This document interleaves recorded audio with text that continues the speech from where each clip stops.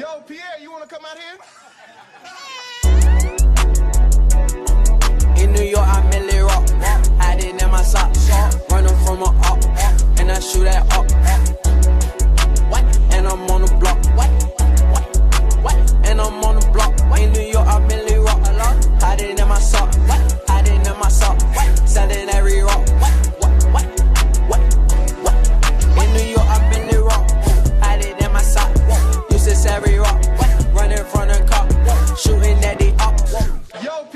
Shooting at it.